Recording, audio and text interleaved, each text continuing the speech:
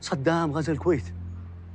بذمتك إي والله العظيم شو حول ولا قوة إلا وش الدبر الحين؟ ها؟ طيب وش نسوي؟ وش تقول؟ وش تسوي؟ صفات صفات الله. إي والله لا حول ولا إنا إلا لله وإنا إليه راجعون.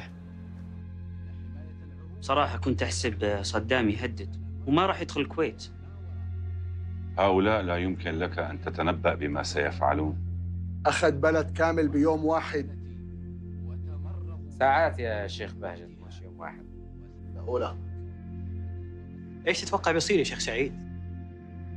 دخول صدام إلى الكويت عمل خطير وسيكون له تبعات أخطر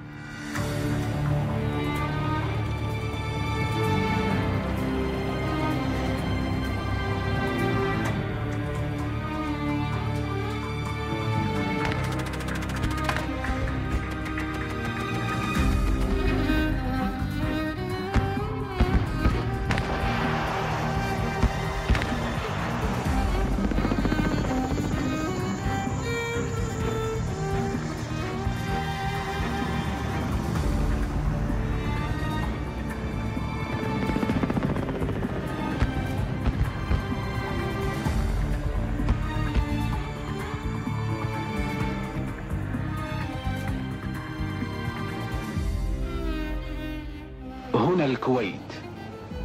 أيها المواطنون الكويتيون الأحرار أيها العرب في كل مكان لقد كشر الغدر عن نابه وكشف الطغيان عن مخالبه وأماط اللثام عن مطامعه. أن الذي يتم الآن وعلى مشهد ومسمع من العالم كله صورة مخزية للغدر نفسه. إن غزو الكويت باسم العروبة هو أحد أعاجيب الدنيا ولكن متى عرف الطغيان الحياء؟ إن نشيد العروبة على فمهم كان خدعة.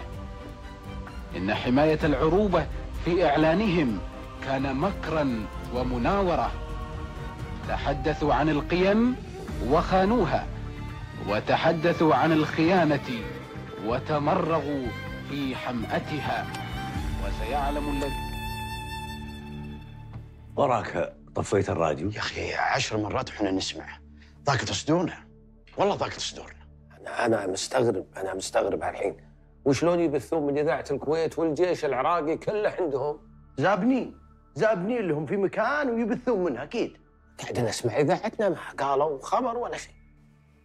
أعوذ بالله أعوذ بالله. والله اللي قاعد يصير هذا جنون. الله أكبر عليهم. علموني الحين وش بتسوون مع عيال عمومتكم الكويتيين؟ وش بنسوي بنتي؟ هذول ما عرفناهم من يوم نبي زارين انقطع. كان أبوهم يجي يزور أبوي الله يرحمه عقب ما مات ما شفناهم ولا عرفناهم. أي بس ولو هذول عيال عمومتك.